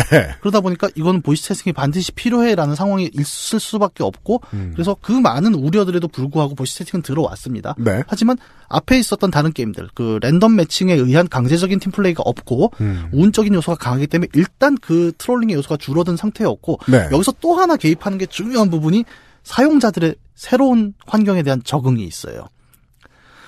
보이스 채팅이 힘들다는 걸 알잖아요. 누구나. 네. 뭐 오버워치 사건이나 이런 걸 겪었고 그래서 이 게임은 분명히 나름의 랜덤 매칭을 할 수 있음에도 불구하고 사람들이 되게 재밌게도 이제 지인 중심으로 팀을 짜서 들어오기 시작을 해요. 음. 모르는 사람과 가급적 안 하려는 움직임을 보이는 거죠. 왜냐면은 안녕하세요 하면 무섭거든요. 네. 나는 상처받지 말고 네. 내가 상처 주는 누군가가 되지도 말자. 예전에 네. 해봤으니까. 선을 그었어요. 뭐 랜덤 매칭 저도 해보긴 하지만 어, 해도 보이스 채팅 의미가 없는 경우가 많은 게 이제 딱 들어가면 你好 이럽니다. 아, 그때부터는 이제 뭐 소통도 잘 안 돼요. 아 다음에 누가 안녕하세요 하면 나 你好라고 대답해야겠다. 보통 그 되게 인종차별적인 또 발언도 많아요, 사실 그 안에. 그렇겠죠. 예, 들어가자마자 제일 많이 하는 게 애들이 China number one을 합니다. 음. 이게 그거 왜 그래요? 대만 사람들 놀린다고. 자, 이게 그 다른 시사 프로가 게임 얘기 안 하는 이유가 있어요. 굉장히 험한, 아, 제가 잘못 얘기했네. Taiwan number one을 하죠. 주로 중국 유저가 많으니까. 아. 그래서 이제 중국 애들 짜증내고. 험해야지 이거. 네. 그래서 요즘은 중국 애들이 아예 들어와서 먼저, 어, China number two, China number two. 그러고 다니는 환경이죠. 네. 어쨌든 그렇게 이제 보이스 채팅이 워낙 거친 환경이란 걸 다들 인식을 하고 있기 때문에 되게 재밌는 부분이 게임사가 미처 커버하지 못한 부분을 유저들이 자신들이 커뮤니티를 바꿈으로써 해결을 했거든요. 어떡해요. 이게 팀플레이의 위치가 이동해버린 거예요. 이전에 텍스트 채팅 기반의 음. 롤이나 오버워치에서의 팀은 게임 안에 팀이 있었습니다. 네. 가장 대표적인 게 한 판이 끝나면 그 팀이 해소가 되잖아요. 네. 근데 배틀그라운드의 보이스 채팅 기반의 팀은 그래서 게임 안에 들어가야만 in-game voice가 활성화가 될 거잖아요, 서로. 네. 음. 근데 우리가 모인 사람들이 한 게임 끝난다고 흩어지는 건 아니지 않습니까?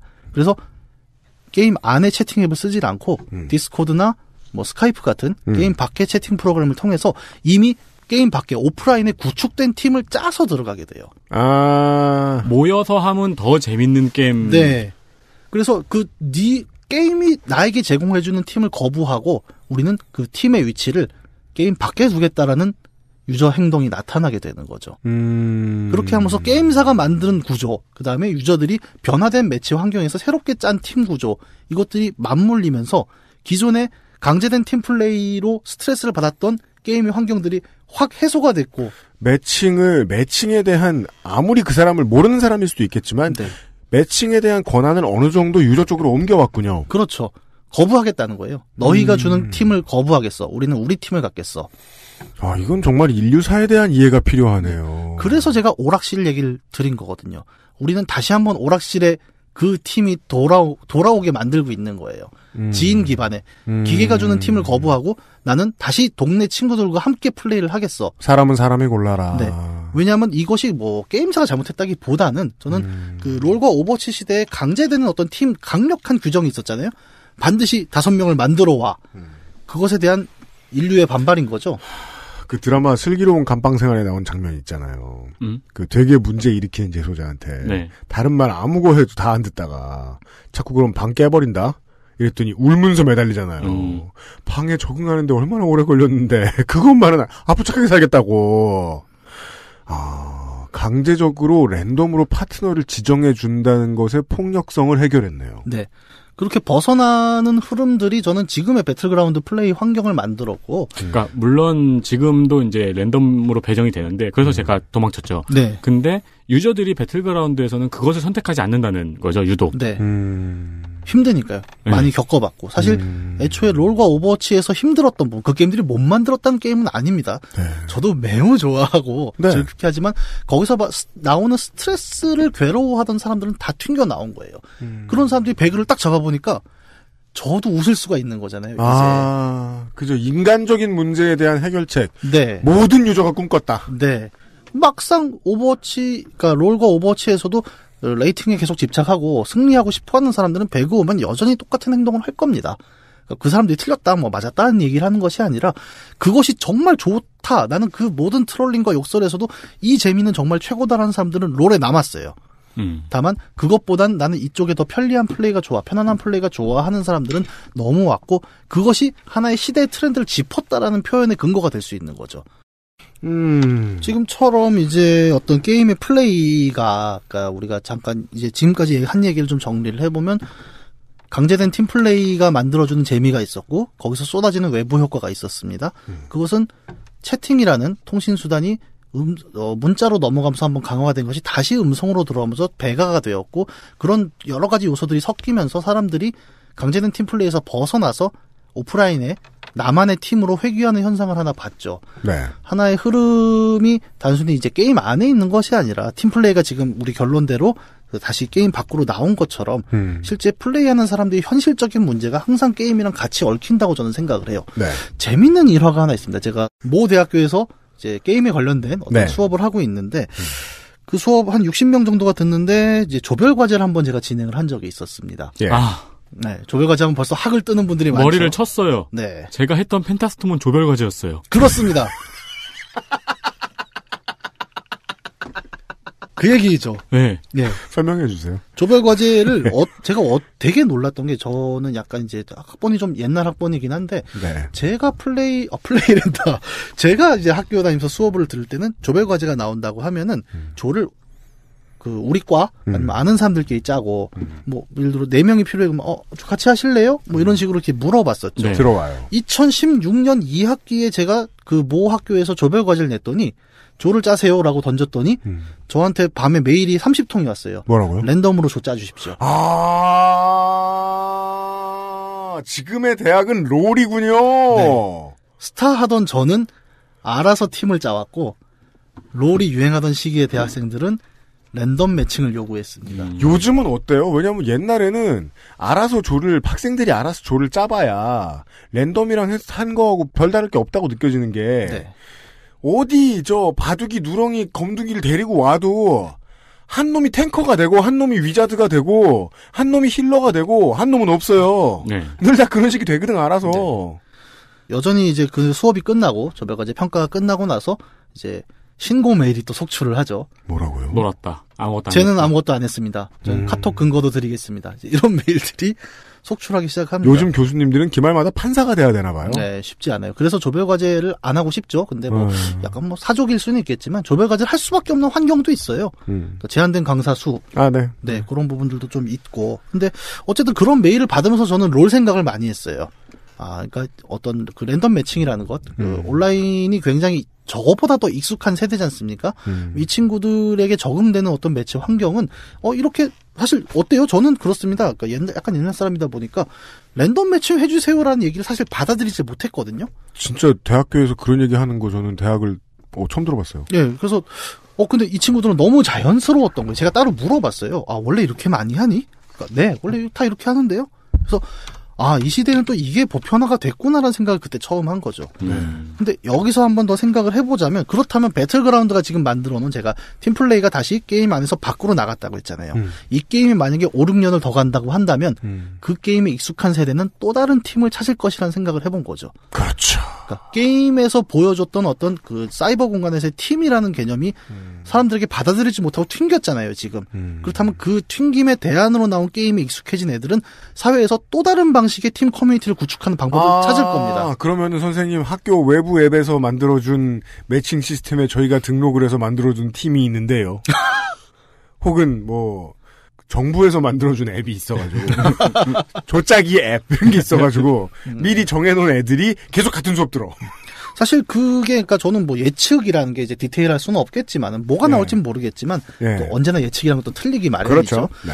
그래도 이런 예측을 해볼 필요가 있다는 건 조금 더 이야기를 확장해서 생각을 해본다면 아까 시각 비시각 얘기를 했잖아요. 음. 되게 재밌는 게 요즘 이제 VR 관련된 기기들이 계속 기술이 발전되고 있지 않습니까? 네. 이 모든 기술들을 어떻게 보면 비시각적 감각을 매체로 활용하는 기술들의 발전이라고 볼 수도 있어요. 비시각적 감각이라 하면 게임을 기준으로 하면 소리. 소리가 있죠. 가장 기본적으로. 네. 그다음에 VR 같은 경우에는 전정기관을 감각 매체로 사용을 합니다. 네. 그 어지러움이라는 것을 가지고 사람들에게 지금 네가 어느 정도의 기울기로 서 있다는 걸 계속 전달을 하려 하죠. FPX 게임의 후손이죠. 네. 아 그렇군요. 전정기간의 체험을 가상으로 전달해 주는군요. 그렇죠. 네. 음. 사실 그것도 일종의 메시지 전달이 가능할 거라고 보고 네. 그다음에 촉각 요새 묘사해주는 그 가상 글러브들 나오고 있잖아요. 뭐 그게 아니더라도 무슨 뭐 청, 청축의 촉감이라든가. 네.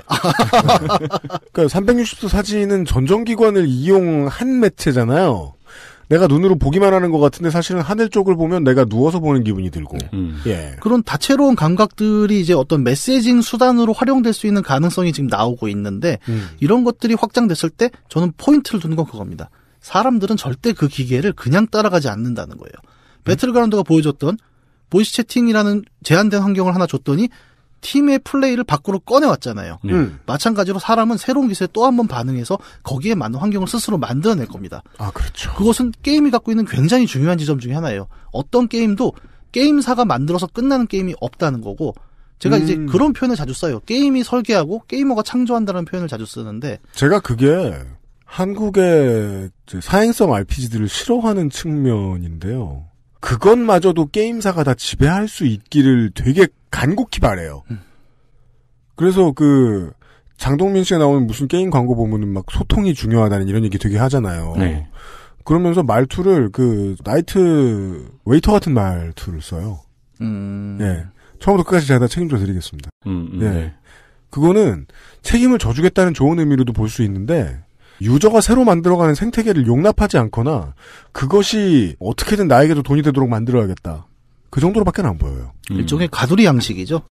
예, 한국 게임들 보면 특히 이제 좀 작은 모바일 게임들은 그런 걸 많이 하죠. 그러니까 특정 유저를 가둬놓고 어, 소위 고래라는 표현이 있습니다. 고래요? 예, 그러니까 좀 작은 규모의 모바일 게임 같은 경우에는 예를 들어 내가 거기서 한 달에 1억을 썼다. 음. 그럼 사실 그 게임 매출의 대부분이잖아요. 음? 그러면 사람들은 그 사람 그 소수만으로도 유지가 되거든요. 음. 매출이 작기 때문에. 아, 그들을 만족시킨다. 네. 그래서 이 좀 작은 게임의 고래분들은 심지어 고객센터에 전화를 해요. 그래서 음. 내가 궁수를 하는데 좀 약한 것 같아. 그럼 다음날 궁수가 세집니다. 어, 진짜요? 네. 와. 그 재미로 하는 거예요. 그분들은. 여기 뭐 팟캐스트랑 비슷하네요.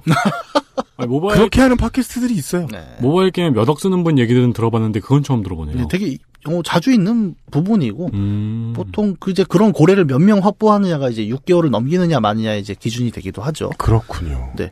근데 그런 이제 아까 말씀하신 대로 어떤 사용자의 자유로움, 음. 선택의 가능성들을 제한하는 방식의 게임이 이제 흥행하는 반면에 음. 배틀그라운드의 사례에서 보듯이 사실 모든 게이머들은 저는 창조하는 사람들이라고 생각을 하거든요. 음. 근데 그런 창조의 가능성으로 계속 게임과 어떤 기술이 제공하는 환경에서 다음 난 더 나은 환경을 만들고 싶어하는 그 도전들 그것이 과연 게임 안에만 그칠 것이냐. 음. 지금 우리가 계속 빠르게 변해가는 매체 환경 속에서 음. 어, 우리가 스스로 기술과 환경에 대응해 나가는 모습의 일부가 이번 배틀그라운드의 흥행에서 좀 엿볼 수 있는 우리의 미래일 것이다라고 얘기를 할 수가 있겠죠.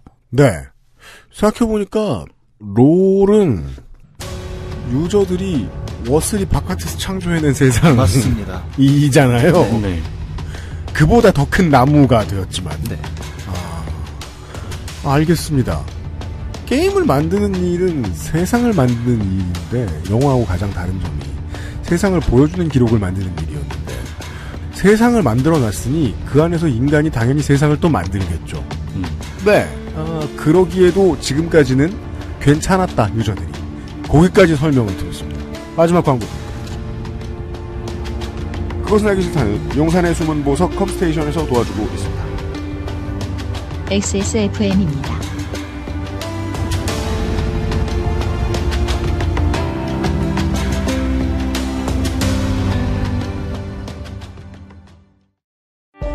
노트북이냐 태블릿이냐 10년 전엔 사람들이 이것만 고민하다가 영원히 데스크탑을 쓰지 않게 될 줄 알았지요. 발열과 속도 저하, 활용도와 확장성의 한계에 부딪히기 전까지 말입니다. 어떤 업무, 어떤 상황에 안정적인 데스크탑이 필요한지 알고 계신 당신은 컴스테이션과 잘 통할 고객입니다. 품질 보증 기간 걱정 없는 신제품, 발열과 각종 고장에 대비 중인 조용한 형제들, 믿음까지 구매하는 비용이라고 보기에는 저렴하기 이를 데 없는 컴스테이션의 고사양 PC, 부품 수급이 불안정해질 때마다 눈물을 머금고 원치 않는 사양을 사야 했던 날들의 작별 컴스테이션과 함께 하십시오. 컴스테이션은 조용한 형제들과 함께합니다. 2017년 에, 마지막 두 번 남은 XSFM의 그것은 알기 싫다. XSFM GOTY, PUBG 시간으로 꾸며드렸습니다. 목 금요일에요. 이경혁 ludologist 겸 내러티브도 좀 하시는 사실 제가 제 호칭에 대해서는 저도 잘 모르겠어요. 그냥 게이머라고 많이 하고 다닙니다. 네. 함께 하고 있었습니다. 성격이 삐뚤어진 저 같은 사람이요. 연말에 이제 TV에서 이상, 저상 주는데, 예를 들어, 범아시아적으로 방송되는, 이제, 유수의 전 아시아의 음악 채널에서 주는 음악상에는, 어, 음반이 많이 팔린 인디 밴드, 이런 사람들은 못 나옵니다. 네. 굴지의 아이돌 기획사가 상을 나눠 가집니다. 그렇죠. MBC, SBS, KBS는 그렇게 낡았다, 낡았다 해도 계속해서 방송 대상을 줍니다. 이름이 방송 대상이지, 그냥 우리 방송에, 우리 방송사에 매출을 많이 내준 연예인들에게 감사패를 주는 자리입니다. 네. 어. 우수 직원 표창이죠. 대충 그렇습니다. 그러니까 우수 비정규 직원 네. 표창입니다. 그런데 대한민국 게임 대상을 얼리 액세스인 PUBG가 받았다는 것은 정말 정말 이상하긴 했었습니다. 여전히. 예. 이 게임에 대한 얘기를 이틀 동안 듣고 있었습니다. 어, 2017년 게임 대상이 뭐 우리 서두에도 얘기했지만 사실 매년 비슷비슷한 게임들이 받아올 것이다라는 그 체념 많은 게이머들의 체념에 의해서 버려졌다가 배틀그라운드가 후보가 되면서 사실은 예, 확 타올랐죠. 뭐 타오른 것도 사실은 매우 작았습니다만 네. 그래도 한 번 더 쳐다보게 되었다. 근데 음. 이 과정에서 좀 재밌는 얘기들이 많았죠. 저, 게임 대상의 주관사들 중에는 일부 언론사도 포함이 돼 있습니다. 스포츠 조선이요? 네. 그건 말했다. 아, 이건 또 말해도 되는 건데. 이제 재밌는 칼럼들이 많이 올라왔어요. 그 막판에 이제 배틀그라운드가 워낙 인기가 좋다 보니까 리니지2 레볼루션이 좀 수상이 어려워지는 분위기 아니냐라고 할 때 갑자기 등장하는 칼럼들이 있었습니다. 그러면서 무슨 얘기를 했냐. 왜 제목이 그랬어요? 왜 리니지2 레볼루션이 대한민국 게임 대상을 받아야 하는가라는 제목으로 심지어는 올라왔습니다. 근데 자, 뭐, 그, 거기서만 끊으셔도 말이에요. 음. 우리 청취자들은 다 이해하십니다. 아, 그런 글을 써주는 사람들이 있겠지. 예, 있었죠. 뭐 이거는 그냥 추측성이지만 약간 그런 부분도 있죠. 그 블루홀 의장인 장병규 네. 의장이 지금 대한민국 총리급의 네. 4차 산업혁명위원회 위원장으로 또 계시는 네. 어떤 그런 맥락도 있기 때문에 뭐 제가 이건 어디까지나 추측이지만 네. 이제 여러 가지 좀 힘들이 작용하지 않았나라는 생각을 합니다. 음. 그러면 결과적으로 이제 배틀그라운드와 리니지 2 레볼루션이 2017년 대한민국 게임 대상의 후보였다라는 것이 다시 한번 정리를 하자면 큰 상징이었던 거죠. 하나의 장르, 새로운 흐름을 만들어낸 게임성이 대상의 수상 이유이냐, 음. 아니면 가장 많이 팔렸고 가장 많은 수익을 거둔 게임이 대한민국을 대표하는 게임 대상. 참고로 이 대상은 대통령상입니다. 네. 대통령상은 과연 어디에 손을 들어줘야 하는 부분에서 많은 사람들의 의견이 엇갈렸었고, 뭐, 결과적으로는 배틀그라운드가 수상을 했죠. 아까 지금 말씀 주셨지만은 사실, 어, 연말 어워드라는 게 늘 그저 그렇습니다, 사실. 음. 근데 게임 쪽에는 그런 이제 GOTY 같은 큰 상만 있는 건 아니에요. 네. 어, 올해 9월쯤이었나요? 부산에서 이제 BIC라고, 부산 인디게임 페스티벌이라는 게 있었습니다. 네. 많이 알려지지 않았어요. 인디게임이 다 그렇죠. 네. 전 세계 세계 규모예요. 그래서 전 음. 세계에서 한 400개 이상의 게임들이 참가를 했고 음. 그 와중에서 이제 심사위원들이 걸러서 약 50개 이상의 게임들이 현장에 이제 쫙 뿌려졌고 음. 나름의 시상이 있었습니다. 네. 어 되게 놀라운 게임들이 많아요. 제가 거기서 해본 게임들이 정말 충격적이었던 거는 VR 게임인데 음. 음, VR 이렇게 head mount를 쓰지 않습니까? 네. 그러면 어 암전이 돼요 게임 안에서. 그래서 음. 내가 입으로 소리를 내면 음. 그 소리의 음파가 튕겨서 화면에 그 음파만 보여서 모양을 볼 수 있게 합니다. 그 반향 정위라고 하죠. 음. 딱딱딱 소리 내서 그거를 그냥 게임 안에 구현을 했어요. 네. 이런 인디 게임들, 그러니까 새로운 상상의 가능성들이 계속 나오는 어워드도 존재를 해요. 네. 다만 그런 것들이 어 많은 대중들의 어떤 호응, 음. 시선을 받기는 지금 어려운 상황이고 네. 좀 새로운 게임들, 그러니까 우리가 늘 얘기하지 않습니까? 게임 좋아하시는 분들 다 얘기하는 한국형 RPG의 이 진부함. 이것들 뭐 물론 시간이 지나면 없어지긴 하겠지만 음. 그런 것들을 조금 더 빨리 좀 더 우리가 좋아하고 좀 더 편하게 즐길 수 있는 수익 이전에 재미를 볼 수 있는 게임들의 환경을 만들주, 만들어주기 위해서는 음, 여러분이 수익을 집중하시는 쪽도 좀 더 다채롭게 그리고 다양하게 보실 수 있는 어떤 그런 응원도 좀 필요하지 않을까. 네. 네, 저는 그렇게 생각을 합니다. 네. 전국 그리고 전 국민으로 펼쳐놓고 생각하면 어, MMORPG 대세의 한국 시장에서 사람들이 게임을 통해서 얻는 가장 큰 유희는 안타깝게도 사회에서 얻는 즐거움과 똑같습니다. 어, 사회적 위치. 배틀그라운드가 가지는 가장 큰 의미가 그거라고 생각합니다. 그걸 많이 깨줬습니다. 우리가 이제 그, 수석 설날 때, 우리를 가장 즐겁게 해주는 건 고스톱이잖아요? 네.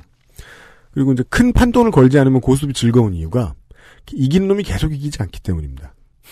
그리고 그죠. 끝나면, 끝났다고, 누가 많이 이겼다고, 그, 냉장고를 부탁해처럼 별을 더 달아주고, 냉장고를 부탁해줘도 별만 더 달아주지, 무슨 특전을 더 주고, 네. 막 계급을 원수 셰프 이렇게 불러주지 않아요. 다시 리셋될 수 있다. 게임을 시작하면은 뭐 옷을 몇 가지 입고 있지만 어쨌든 맨몸으로 맵에 떨어지게 되잖아요. 그리고 재빨리 파밍을 아이템을 찾아 다녀야 되는 거예요. 네. 그런 부분에서 원래 그동안 우리가 알고 있던 한국 게임은 그렇게 시작을 했는데 돈을 내면은 헬멧을 사- 착용한 상태, 칼을 든 상태에서 시작을 한다던가 이런 누- 과금 아이템이 항상 나왔잖아요. 누가 리니지 1을 아직도 이제 하고 계신 플레이어가 있다면, 그때도 파밍이라는 게 있었다면, 한 15년 전을 떠올리면서 얘기하겠 내가 파밍할 때는 말이야. 지금 지적하신 그 부분에 되게 중요한 차이가 조금 더 길게 해도 네. 되죠. 예, 뭐 어디가 있냐면은 제가 되게 주목하는 게 그 레벨업이라고 하죠. 네. 그러니까 아까 말씀하신 대로 어, 맨몸으로 떨어집니다. 배틀그라운드는. 네. 그래서 뭐 운에 따라서 뭐 3렙 뚝배기를 먹을 때도 뚝배기가 헬멧이거든요. 게임이었는데 네, 삼뚝을 먹거나 아니면 뭐 시작하자마자 총을 줍거나 안 되면 후라이팬으로 이제 뛰어야 되잖아요. 그렇죠. 그, 그, 이제, 옷을 고를 수가 있는데, 자기 캐릭터에 네. 그게 아무 의미가 없어서, 네. 그냥 사람들이 팬티만 입고 떨어져요. 그렇죠. 저는 예 일부러 그래도 사이즈 작게 뭐 만들고 막 이랬습니다. 또 일부러 안 보인다고 막 이렇게 다 조정을 하고 하는데 뭐 그래도 뭐 실력은 별로예요. 근데 네. 그 어쨌든 그 과정도 레벨업이거든요. 맨몸으로 떨어지는 레벨 0 상태에서 네. 아이템을 줍고 무장을 하면서 레벨이 올라가죠. 음. 근데 잘 생각해보면 그런 게 있어요. 아까 오락실 얘기 잠깐 했고 음. 온라인 게임 얘기했고 배틀그라운드 얘기했지만 오락실 시대도 레벨업은 있었습니다. 그죠? 네. 예를 들어 보글보글 같은 경우에는 무슨 사탕을 먹고 신발을 하나. 먹으면서 나름 그게 레벨업이죠. 네. 배틀그라운드와 보글보글은 그래서 같은 지점에 있어요. 레벨업이.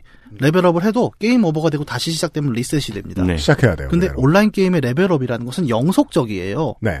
게임을 다시 리셋할 방법이 없습니다. 음. 서버의 모든 레벨업이 저장이 되죠. 네. 맞아요. 이게 가장 큰 차이가 어디 있냐면은 다시 한번 이제 고전 게임 얘기를 해볼게요. 오락실에서 계속 패드를 붙잡고 막 돌리고 하던 사람들의 숙련도라는 것은 자신의 몸에 저장이 됐어요. 네. 여러분도 지금 다시 고전 오락실 가서 예전에 하던 게임 잡아보라 그러면 입으로 그래요. 아, 나 이게 어떻게 되겠어. 근데 손이 막 돌고 있을 거예요. 네. 하지만 지금의 RPG는 서버에 저장돼 있다. 네. 게이머의 숙련도가 약탈당했죠. 서버에. 몸에 있던 것이. 네. 사실 많은 게임들은 저는 난이도와 숙련도의 갈등에서 이제 비롯된다고 생각을 하는데 음. 게임사가 제작한 난이도를 우리가 게이머가 유일하게 받아칠 수 있었던 무기였던 숙련도가 음. 적어도 모바일 네트워크 게임에서는 사라졌다. 사라진 상태죠. 그리고 그 우리가 쌓던 숙련도는 서버에 아이템과 레벨이라는 수치화되고 개량화된 데이터로 쌓여버리고 그 권한을 그들이 들고 있기 때문에 그들은 그것을 팔아먹을 수 있게 됐죠. 그런 만큼 그런 게임들은 난이도가 어마어마하게 쉽잖아요. 사람마다 다르게 가치관을 두고 게이머마다 다른 판단을 하시겠습니다만은 예, 어, 제가 생각하는 훌륭한 게임은 사회를 있는 그대로 보여주고 감지하고 느낄 수 있게 하되 사회에 나쁜 우리에게 스트레스를 주는 어떤 점들을 제거해 놓은 아주 약간의 안식처 역할도 하는 것 예, 이었으면 좋겠습니다. 그런 의미에서 PUBG에 대한 이야기를 2시간 동안 알려드렸습니다. 이 외에도요, 앞으로 게임은 꼭 어, 네러톨로지스트와 로돌로지스트만 있는 것들이 아니잖아요. 예. 아무튼 여러 가지가 필요할 때